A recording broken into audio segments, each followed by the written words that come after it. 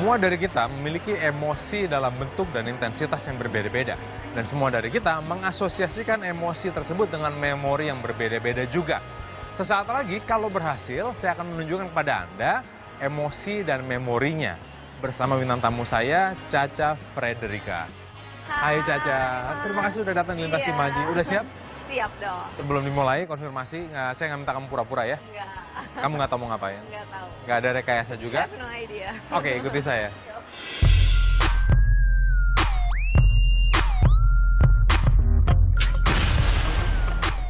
Sibuk apa sekarang? Sekarang lagi sibuk eh, ngurusin eh, Suami? rumah tangga. Ah, oke. Ngurusin suami apa ngurusin rumah tangga? Ngurusin suami dan rumah tangga dong. Terus gimana? Acting, career, nyanyi, and so Kalau on nyanyi and kan memang enggak.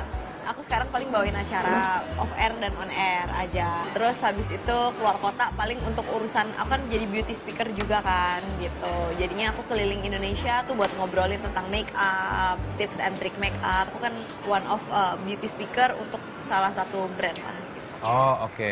Kamu ngomong tentang kecantikan gitu. Yang denger udah langsung cantik. Ah, yang denger adalah orang-orang yang interest dengan kecantikan. Kenapa masuk ke dunia itu? Eh, dunia entertainmentnya kayaknya malah ditinggalkan pelan-pelan. Enggak sih, kalau aku ninggalin dunia entertainment sih enggak sama sekali. Aku tetap maintain di dunia entertainment, cuman sekarang kan posisi aku statusnya sudah menikah. Oh, oke. Jadi ya aku harus lebih tahu diri lah gitu. Dan orang tuh hidup punya harus punya prioritas menurut aku. Dulu waktu aku masih SMP, SMA, prioritas aku adalah karir. Jadi aku sebisa mungkin menangin karir aku, which uh, prioritas kedua aku adalah pendidikan. Ketika aku masuk dunia kuliah, pendidikan jadi prioritas nomor satu. Jadi di- kehidupan aku di dunia entertainment jadi prioritas nomor dua. Ketika aku udah menikah, kehidupan rumah tangga aku jadi prioritas nomor satu. Yang lainnya nomor dua dan tiga. I see. Eh, Pemirsa sudah dengar semua itu namanya adalah sebuah asosiasi. Yes. Ya kan? Eh, di mana mungkin bagi Anda jika mendengar kata pendidikan, seandainya kamu masih kuliah ya. Ya. Mungkin hanyalah ya pendidikan gitu, so what gitu. Bagi kamu prioritas nomor satu ya. Yap. Nah seandainya Anda mendengar kata rumah tangga, mungkin hanya sebuah kata bagi kamu adalah priority number one. Ya. Nah itu namanya asosiasi kata. Ya. Nah, em, karena ini lintas imaji berhubungan dengan imajinasi. Tentunya dengan em, asosiasi kata. Em, saya akan mencoba sebuah teknik namanya anchor. Anchor bahasa Inggrisnya jangkar. Tapi dalam sebuah eh, teknik neurolinguistic programming, anchor adalah di mana kita mengasosiasikan satu hal Ya. dengan hal yang lainnya.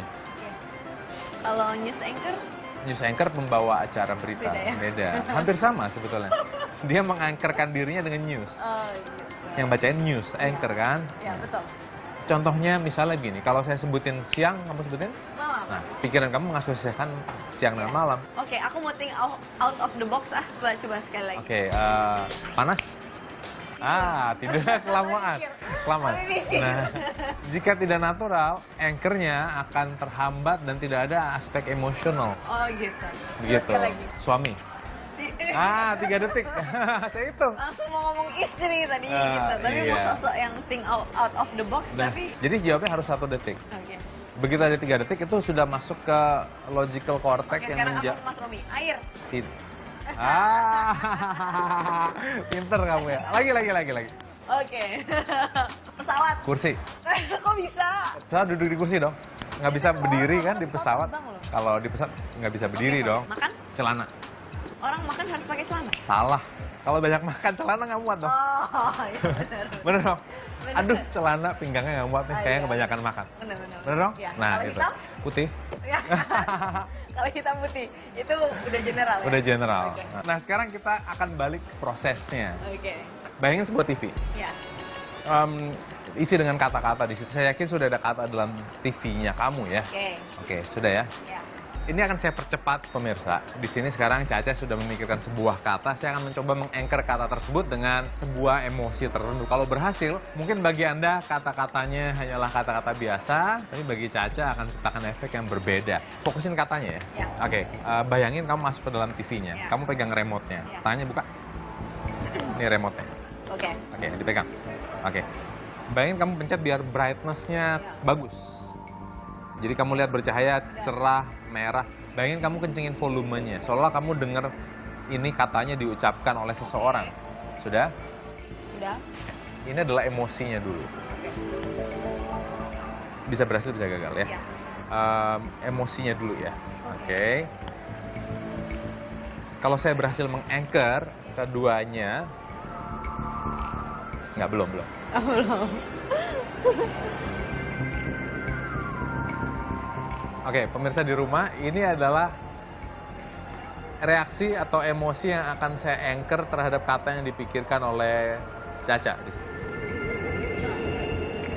Nggak kelihatan kan? Ya.